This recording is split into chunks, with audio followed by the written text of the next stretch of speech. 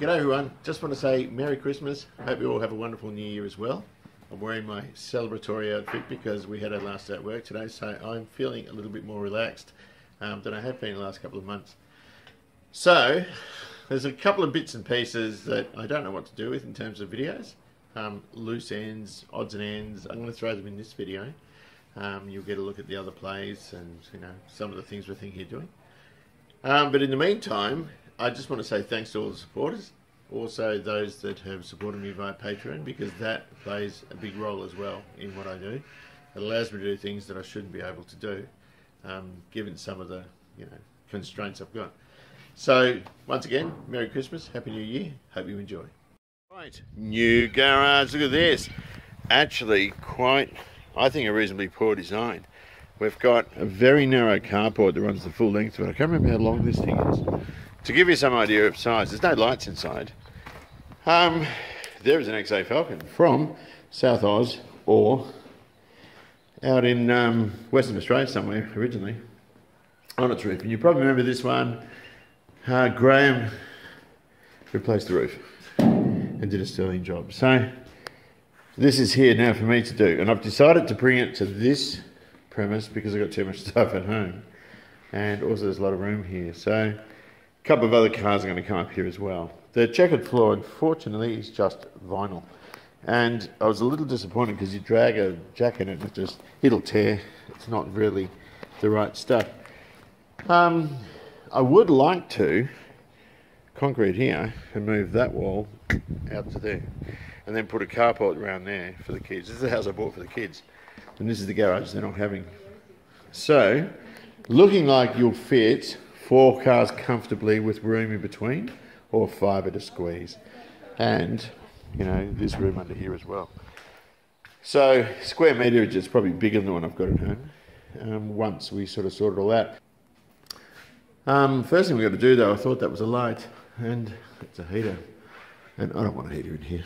Most blokes up in the country have like potbelly stoves and all this sort of stuff. I'm more interested in doing this sort of stuff in the sort of warmer months. Um, he left a cupboard. He left all sorts of weird stuff. I bought a lead for here. I bought the fan that I put in the shed that we didn't use because I've got the big ceiling fan in the garage at home. That's the old dog food preparation table which we'll use for batteries.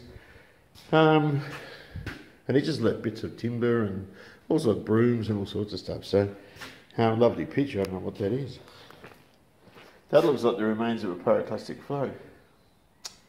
Uh, so yes, XA's here. All the parts of the XA are at home. So this is going to be a cut shop. So we'll cut up the bits we need and get new beaver panels and all sorts of stuff for it. And I might start on the base of the A pillars as well. Uh, of course, I'm not starting this till after I finish the XC. So that's the new garage. I'll go into the corner here and give you a look at the size of it, which I think is really good.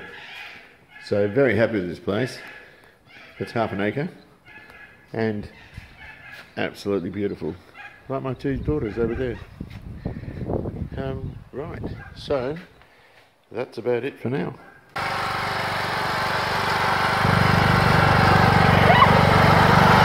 Run over me!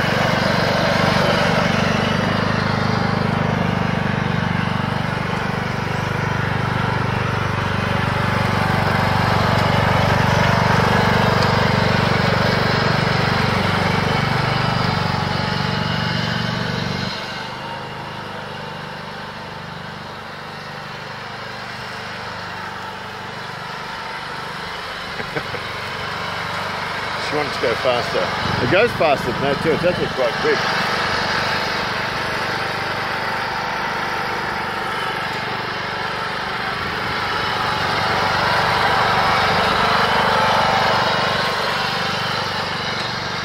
Check this thing out. I bought a compressor. Um, they left it here. I've been away. They left it here, right on the footpath, next to the footpath, and hopefully you can't see much or something. Um, it's been lying on its side. That's all oil. And um, the wheel, one of the wheels was underneath it. There's something underneath the front of it. There's a caster there. So I've taken photographs. If I need to, you know, I'm going to have to get in contact with the seller and say, what the hell's this? Right. Time for me to have a bit of a yarn and a cup of tea. Oh, just a minute. Mm-hmm. Okay, coming up to this box. That was that compressor that rocked up and I took a bunch of photographs of it. The electrical box and the motor's all smashed up, the grill's bent, the oil's everywhere. I haven't accepted it and I called the supplier. And he said in an email I might get charged a handling fee or something and the freight company won't come if there's oil on it and all this. And I said, well, they did it. You know, they delivered it like this. If you don't refund it, I'll get a higher retail authority. Uh, this Merc had its roadworthy. It's had a new muffler in the back. I did the calipers and discs in the front and the air pump and the water pump. And I ended up having to change the seat belts. That one's a bit twisted. Um, for the coupe ones because the buckle was damaged on the passenger side. And this belt, when you pulled it right out, had a cut in it. And a few other little bits and pieces, washer blocked and all this sort of business. So it's got to go back to have the ball joint. I'm not going to do the ball joint because I've got to press here. I'll change those lights out for the Euro ones too, and then Charlie can drive that around. So in other news, I've got all the overhead gear ready to go in. This place is an absolute mess again because of blowing the Fairlane apart. So you can see there's stuff everywhere. Um, so I've got to organise some space for all these because I don't like it like this. Um, the car's in here now. So I've ordered some more parts for it. I've ordered the lights, the inner ones, and I'll send them off to Hyquil. Um, I've actually found a proper XD XE um, air cleaner and rocker covers, and it wasn't cheap, but I've had it hydroed and etched it all. It's a bit of a minter, so um, I'm really happy about that because that stuff is very hard to get. You can get air cleaners with a little plastic thing, and people want seven hundred dollars for them with a spray can rattle. What do you call it? A rattle can paint job. This one um, is mint and complete, even with the oil filler cap and all sorts of stuff. So I was very happy with that.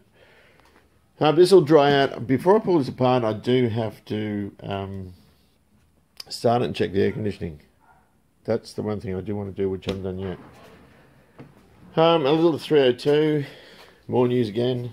Um, I'm very nervous about this. I will admit that I'm not happy with one of the heads. I'm worried that there was a bit too much corrosion in it.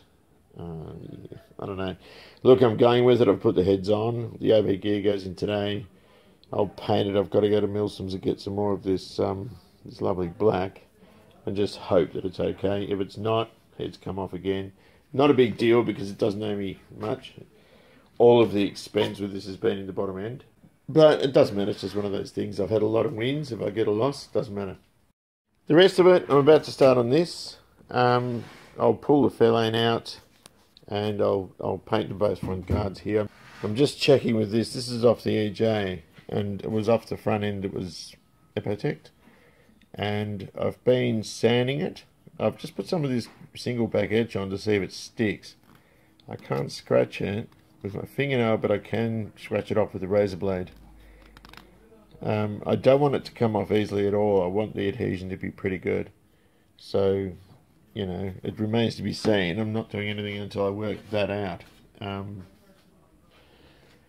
and then I want to get both of those front guards etched once they're etched, it's easy. I've got all the top coat and everything. I can paint that. I've got the headlights. I don't know what I did with the other one of those, but I'll find it.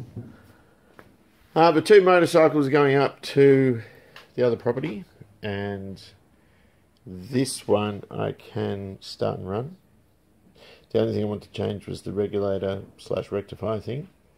Um, the 350, I've got the rear brake line finally. I do have to get a sprocket and chain for it though. And then that's rideable. It's all good. And the rest of it's just the rest of it. I was working over here. I had another drive plate mounted on that. Pulled it off. Massive Huntsman. I got a fright. I threw it on there. And then realised I needed to get some stuff out of here. So, because I was prepared for it, I lifted it up. and it was dead. Um, it's down there. It's all scrunched up. It doesn't show you the sheer size of the thing when I pulled it off. But anyway, it's got a few bits and pieces up here, a few spares, and you know, I can hang on to that stuff. There's a few more Fairlane bits there. Once we pull the engine out of the Fairlane, I can do the engine bay fairly quickly. I'm still building that place next door. Look how close it is. And I've reconfigured a bit of room in here. So that is about it in terms of news. The seller for the compressor ended up being pretty good. They gave me a full refund. I wasn't going to accept it the way it was. It was too damaged. And I've got, you know, those air cleaners and stuff. Took a bit of money, so I haven't bought the compressor. I didn't end up exchanging it. I got a full refund for it. And I was going to actually put that up in the other property, but I'll get something a little bit smaller. That was huge, I think. Um, but it was reasonable. It was a good price. So I'll get another one, take it up there.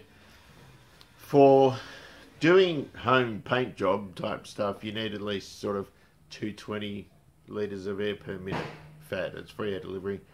Um, that other thing at 370 or something was huge, um, which is good, but I don't need that.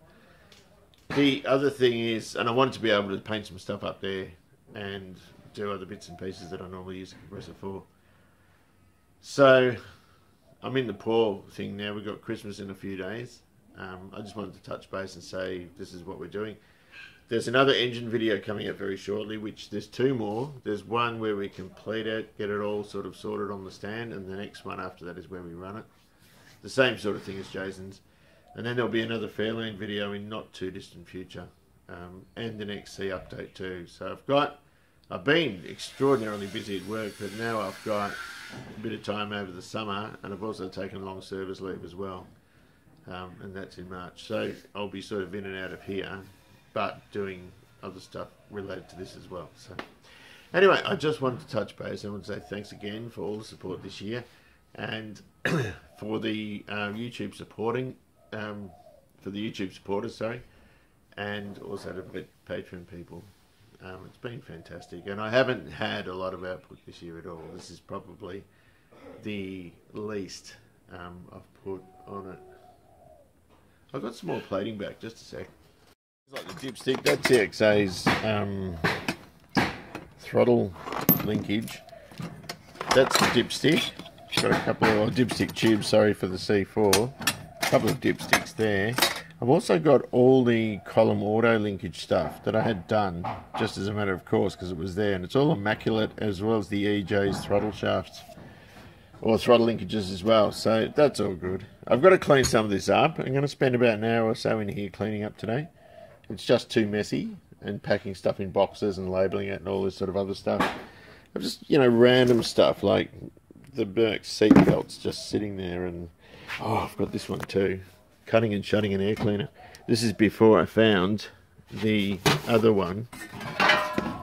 It was it's a rusted out, and I've got this one here which had all those cuts that I did when I was 19, inspired by an LJ GTR air cleaner which looks pox on this. So I've cut that off, and I'm going to cut and shut an air cleaner. So I've got another base there. I've got a good lid, but that's what I was doing for the Fairlane before I found the other one. But anyway, look that's enough crap from me. Um, have a great Christmas, New Year, and I'll see you soon.